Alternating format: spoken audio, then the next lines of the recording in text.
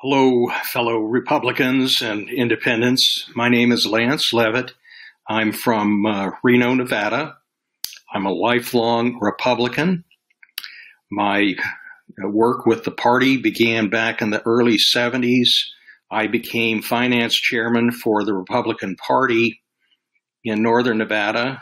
And I would say that the biggest mistake I ever have made was voting for Donald Trump in the Republican primary.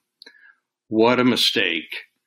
Uh, it wasn't too long after that primary in Nevada that uh, we had our general election, and I voted for uh, Hillary Clinton, the first Democrat I've ever voted for in a presidential election.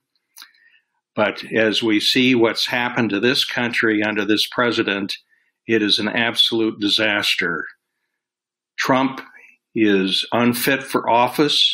He's arrogant, vile, a racist. He's stupid. I don't think the man could pass a fifth grade uh, civics class. And I am a fiscal conservative. Trump is no Republican as we know it. He is the biggest spender. A trillion dollar deficit before this pandemic.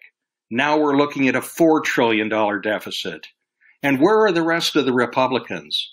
Where's McConnell, Lindsey Graham? They ought to be all thrown out.